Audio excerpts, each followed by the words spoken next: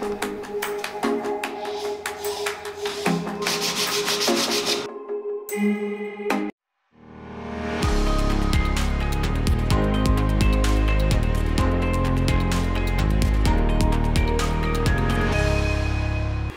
Muthoni here, and it's Tuesday, so happy Tuesday! So, um, it feels like these Tuesday videos are so far apart, but it's okay, we're going to fix that in the next uh, couple of whatevers, weeks, whatnot. Anyway, today's video is going to be an entryway makeover for the house we've been working on the last in the last couple of videos. So there's a there's this huge entryway that we are going to be making over. So when I was doing that entryway I had lost my voice. So I wasn't able to speak into the camera what I was doing and all that cool stuff so I'm going to walk you through the DIYs that I did and also just you know to show you how it turned out so if you are looking to do a makeover for your entryway maybe this is going to inspire you Okay, let's now just get into this. So, really, Ginger? this entryway had one, two, three. It had three. It had two DIYs and then the styling aspect of it. So the first DIY for this entryway was um, the table, having an entryway table. And the table we were going for wanted something that was inspired by, I'll just insert that photo something that was inspired by this. Hope I find that photo. So that was the inspiration for this table and um, Vivian had found this old machine. So she wanted a table that's made out of the old machine. You know those uh, sewing machines, those sewing machines you use your your legs to pedal not the electric ones the old school ones singer you know you, if you know you know if you know you know so um, she got, she had that base already from an old uh, machine from, I think it was her mom's.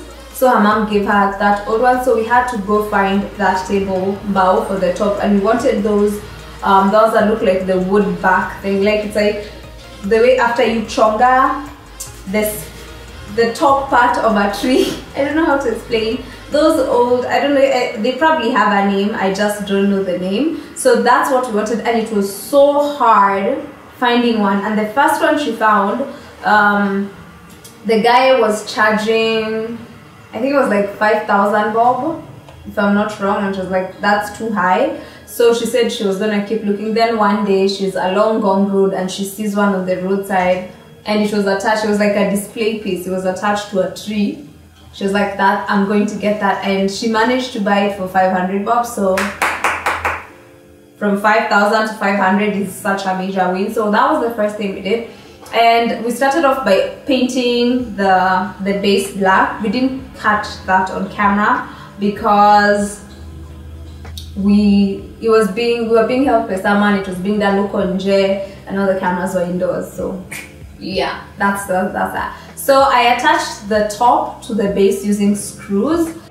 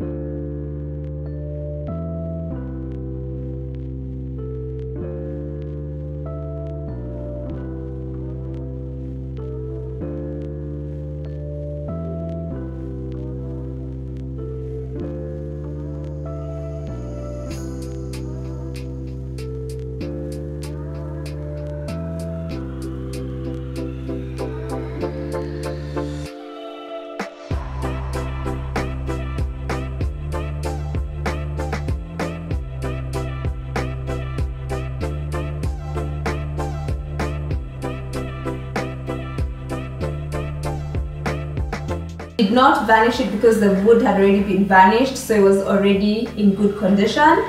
And then now the major-ish DIY was the pendant lighting. So we wanted to have, um, Vivian wanted like a show-stopping entryway light.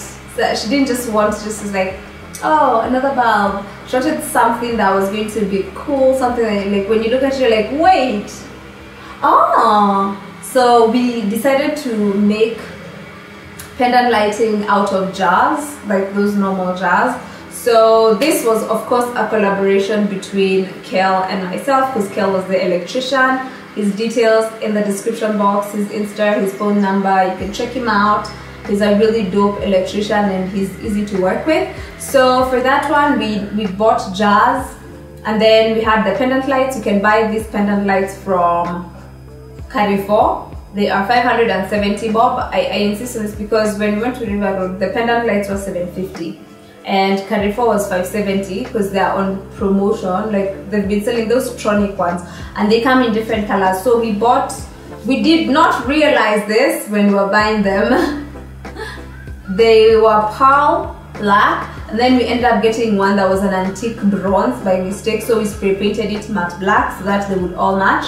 And then what we did is we took the lids of the the lids of the, the of the jars yes.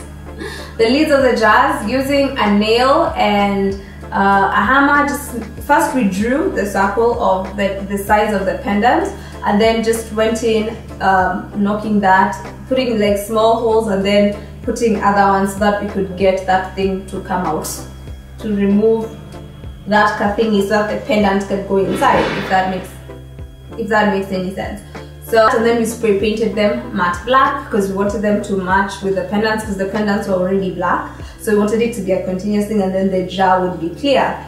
So we did that and then we needed a mbao to hold it. So we wanted a square piece.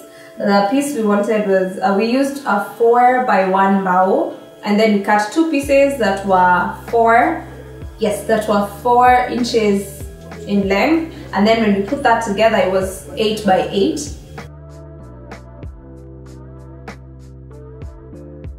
went in with um, the drill just to put the holes for the wiring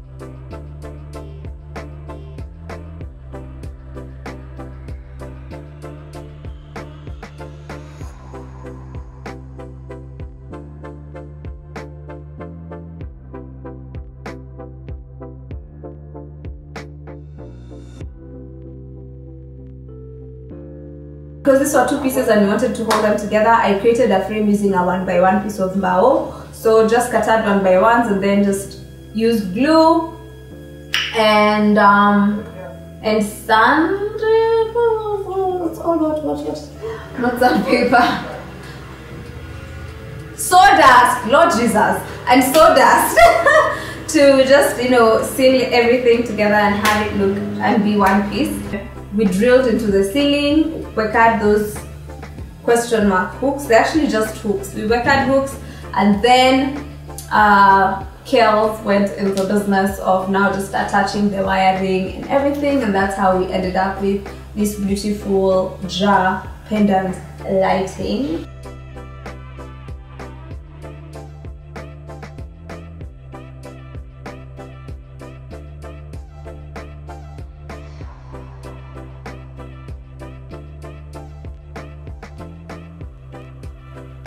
We had a hint of yellow going on in the room instead of leaving the once we put the wood we realized it didn't look so pretty like not like pretty like it wasn't like oh it was just wood. So we decided to just do black and yellow in the middle. So we we painted black on the edges and put a stripe of yellow in the middle and that's how we ended up with the beautiful pendant jar pendant lighting. I have a bunch of photos on each step, each step and that will be in a blog post that will be going on my blog tomorrow on how you can do a jar pendant light for yourself on a very nice budget okay? It was not that expensive but that will be on my blog tomorrow on muthonigitau.com that is a sales plug but thank you for checking out the blog anyway.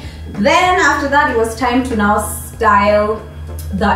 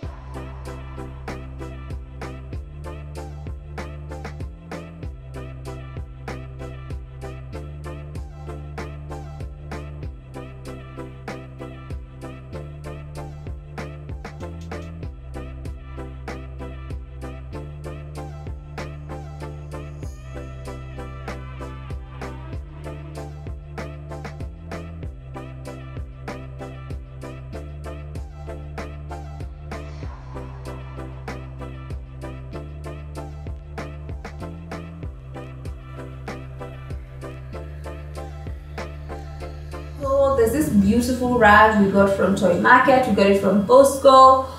I think we paid 1200 It was one on the higher ends because we really liked it. Um, and it was it's a it's a really large one so it has this beautiful blue and white patterns and then uh, we got this light uh, we got this yeah it's a light from Mr. P uh, people call it MRP I don't know why Mr. P Mr. Price so Mr. P.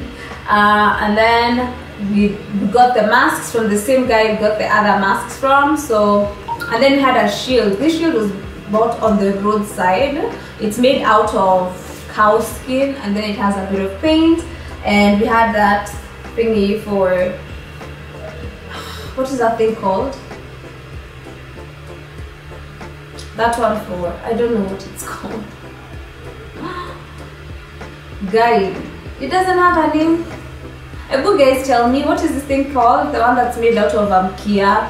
The the one that old people use to bless people and stuff. I honestly have no clue what it's called, but if you do know what it's called, please let me know in the comment section below.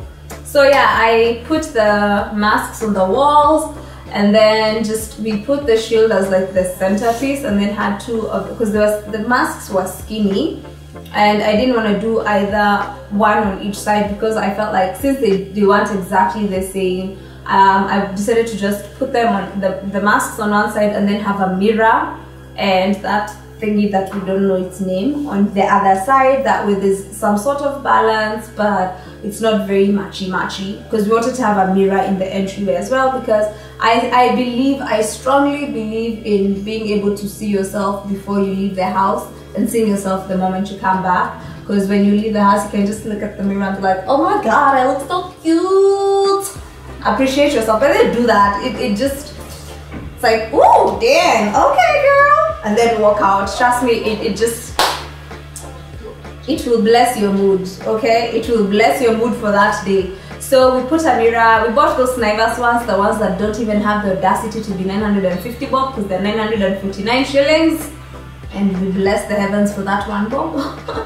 so we put that on the entryway as well and then on the other side we added a plant just to, to play around with the height because we already had the mirror that was like long power just went out we did not spray paint the the mirror she wanted it to remain gray. I asked her, initially wanted to spray paint it matte black. But then I went to Naivas and y'all had bought all the matte black paint. You bought all of it. So we decided we'll just leave it like that because you bought all the paint.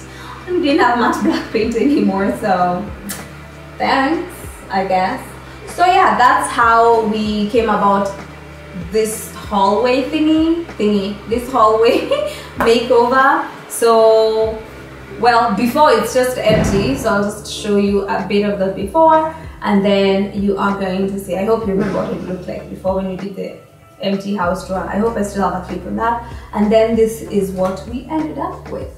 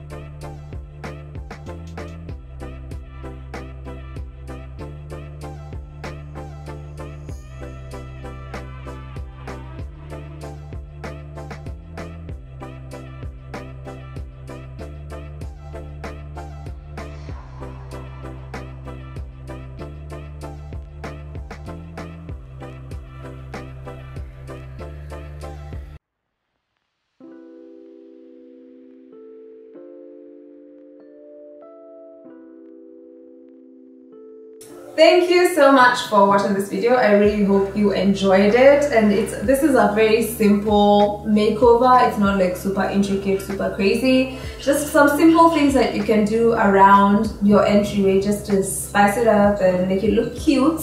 So yeah um tell me what you think of the especially the pendant lighting because it's, it's like one of my favorite pieces ever ever ever. So yeah thank you so much for watching this video. Thank you for spending your time with me. I do hope you are going to have a lovely week ahead.